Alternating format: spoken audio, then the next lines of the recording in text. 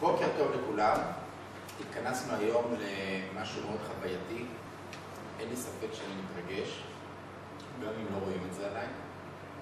אינטליגנציה רגשית, מושג מאוד מאוד אה, שבור היום בעולם העסקים, בעולם המשפחתי, הזוגיות, אה, בין אדם לחברו, ובכל זאת אה, מסתבר שלא הרבה מכירים את תוכנו, ולא לא הרבה מכירים את מעלותיו.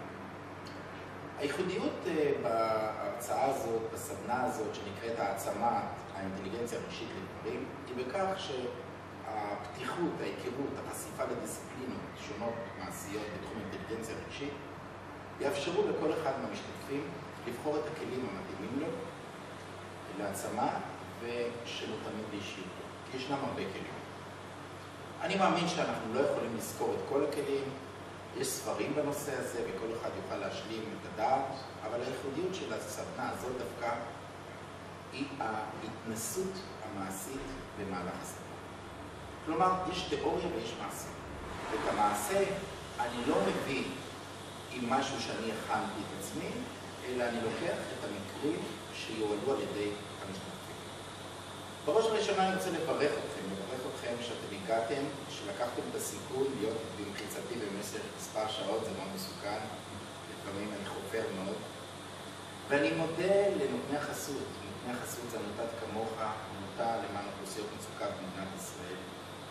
שאני טוען שמי שנמצא שם הוא מבין מה זו אינטליגנציה רגשית. אני אומר תודה לרשת החברתית העולמית רשת אה, שהולכת להחליף מהותית את אה, הפלטפורמה הידועה היום באינטרנט של פייסבוק. מאחר והפיתוח שלה אה, מספטמבר שיבוצע על ידי חברת סטארט-אפ יביא לנו מוצר שבסופו של דבר הוא מוצר טכנולוגי מהמעלה הראשונה, שמתקשר לכמה חוגים וכמה חברות תקשורת, ובכל ticket של, אה, בכל user, לכל user תהיה האפשרות אה, להתקשר עם חברו בכל האמצעים הטכנולוגיים, החל מטלפון, אס.אם.אסים, video conference, בלוג, פורום וכל מה שאתם מכירים היום באינטרנט, וייכנסו גם דברים שאתם מכירים דווקא.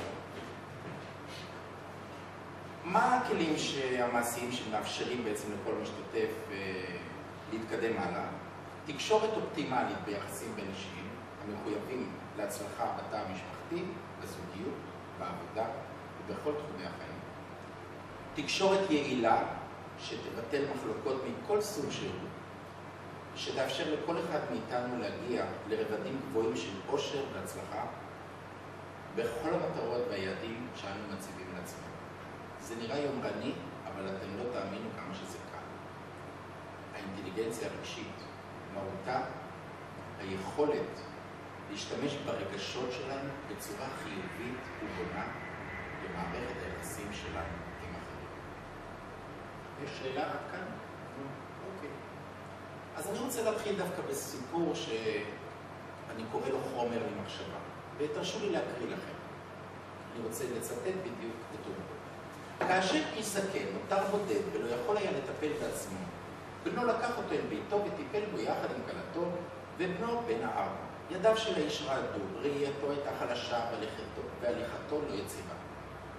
מדי ערב המשפחה ישבה סביב השולחן לארוחת הערב. מצבו הקשה עליו מצבו הקשה עליו לאכול, בגלל ידיו הרועדות נפלו מאכלים מכפו, אכילתו הייתה קולנית והשתייה נשפכה מכוסו. בנו וכלתו התעצבנו מהבלגן שנוצר. אנחנו חייבים לעשות משהו בקשר לסבא, אמר בנו.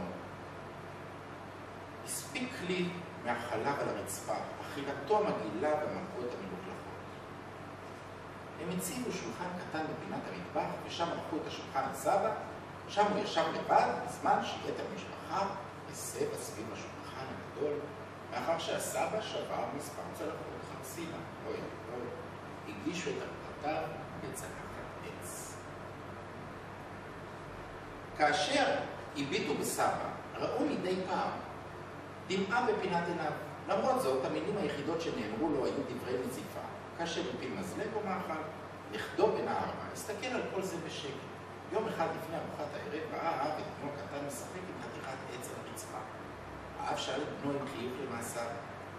הילד ענה לו במתיקות, אני מכין לך ולאמא כעקרות עץ כדי שיהיה לכם במה לאכול כאשר תגדל. זה הילד. המילים היכו בהוריו כמו מכת ברק. דמעות החלו לזלוג על יחיהם, למרות שלא נאמרה מילה, שניהם ידעו מה לעשות. באותו ערב האב לקח את הסב בידו, והביא אותו בעדינות לשולחן המשפחה. בשארית ימיו אכל את כל ארוחותיו עם המשפחה, ומעולם לא גערו בו. אם האוכל או המזלג נשרו מידיו והרצפה או המפה התלקחו. בדרך החיוב נלמד מכך שלא משנה מה קורה וכמה גרוע נראה היום, החיים ממשיכים ומחר יכול להשתפר מצב. למדתי שלא משנה מה יחסך עם הוריך, הם יחזרו לך כאשר ילכו לעולמם. למדתי שלהתקיים הוא לא בהכרח לחיות. למדתי שהחיים נותנים לך לפעמים הזדמנות נוספת. למדתי שאם תרדוף אחר העושר, בפעמים רבות יחמוק ממך, אבל אם תתרכז במשפחתך, בחבריך, בצרכי אחרים, בעבודתך ובניסיון לעשות הכל הכי טוב שאתה יכול, העושר והפריצה. למדתי שהחלטות הנעשות מהלב, בדרך כלל הנכונות, למדתי שכל יום חייבים לגעת במישהו, מגע אנושי או של יד, חיבוק חם, או סתם טפיחה ידידותית קלה על הכתף, אהובים על כל בני האדם. למדתי שנותר לי עוד ללמוד, למדתי שיש להעביר זאת לכל אחד שאכפת לך ממנו. אני עשיתי זאת, ועכשיו אתם תחליטו מה תעשו עם זה. למה הבאתי את הסיפור הזה? הסיפור הזה בשביל לתת את הטעם הראשוני למילה רגש. הרי אנחנו מדברים על אינטליגנציה רגשית, ומן הסתם רגש זו מילת המפתח. איך אנחנו מתייחסים לרגשות שלנו? מה אנחנו עושים עם הרגשות של האחר? איך אנחנו מייצרים מצב שאנחנו לא פוגעים לא ברגשותינו ולא ברגשות האחר? אז נתקדם. והפעם אני מביא אתכם למשהו קצת אחר.